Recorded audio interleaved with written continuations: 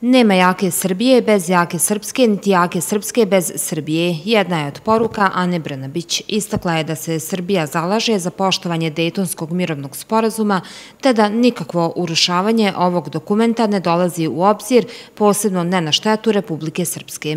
Poštovanje Dejtonskog mirovnog sporazuma i u okviru toga neprikosnovenost Republike Srpske koje nikada ne sme da se dovede u pitanje.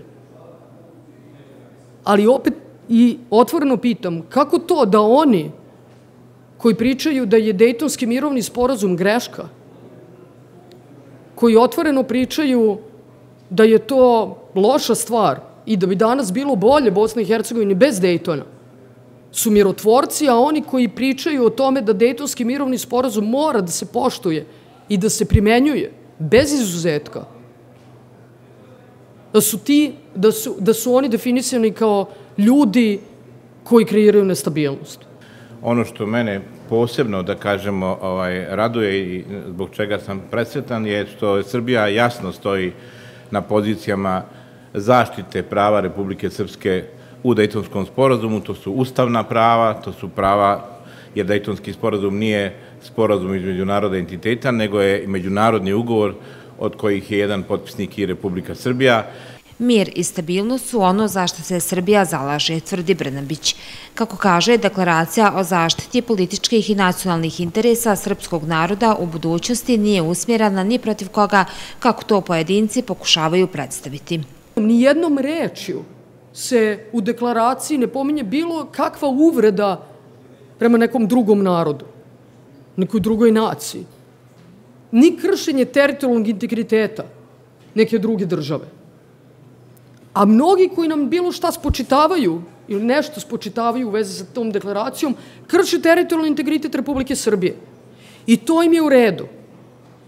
I to ne vide kao svoju grešku. Ali deklaraciju u kojoj ne postoji ni jedna jedina reč protiv nekog drugog naroda, neke druge nacionalnosti, neke druge veroispovesti, neke druge države, smatruju kao pretnju. Jedna od tema bila je i imovina. Predsjednik Narodne skupštine Republike Srpske Nenad Stevandić kaže da je stav Srbije jasan i potvrđen. Imovina se ne može otimati entitetima.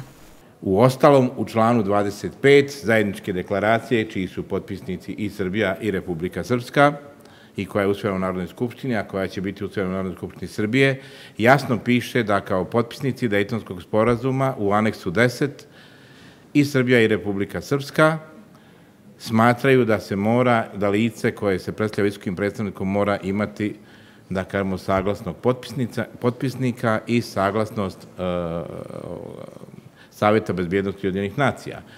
To je dokument i nije mi jasno zašto neko želi da zbog toga što vjerovatno ovaj razgovori predsjednika Srbije i predsjednika vlade i predsjednika Skupštine su neophodna stvar u diplomatskoj praksi, to želi predstaviti kao neku vrstu alibija Kristijanu Šmitu, koji i dalje nema nikakav legitimitet i koji u zajedničkim dokumentima njegovi stavovi nisu, ovaj, da kažemo, oficijalni. Oficijalni su stavovi u Dejtonu vezano za ustavni kontinuitet, eh, konstituciju, teritorijalni integritet Republike Srpske i njenu imovinu, Deklaracija donesena na sve Srpskom saboru naći će se i pred poslanicima Narodne skupštine Srbije, potvrdila je Brnabić. Ona je istakla i da je Srbija do sada za realizaciju projekata u Republici Srpskoj uložila oko 200 miliona maraka, te da je dosta toga urađeno na povezivanju regiona.